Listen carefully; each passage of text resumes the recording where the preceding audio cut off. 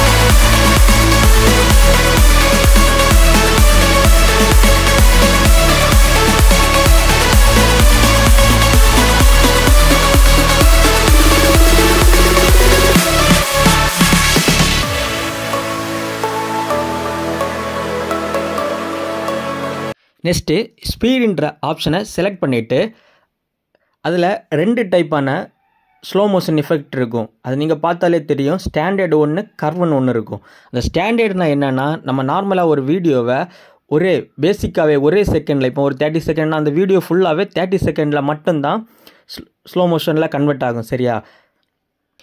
Next option என்னென்னு பார்த்தீங்கன்னா curve.